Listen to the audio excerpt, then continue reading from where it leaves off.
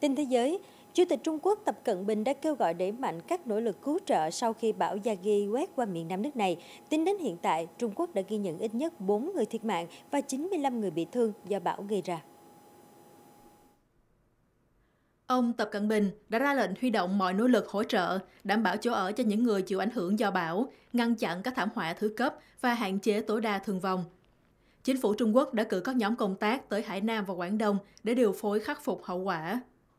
Ủy ban Cải cách và Phát triển Quốc gia Trung Quốc thông báo, nước này đã phân bổ 200 triệu nhân dân tệ, khoảng 28,2 triệu đô la Mỹ từ ngân hàng trung ương để hỗ trợ các nỗ lực cứu trợ và phục hồi ở Hải Nam và Quảng Đông.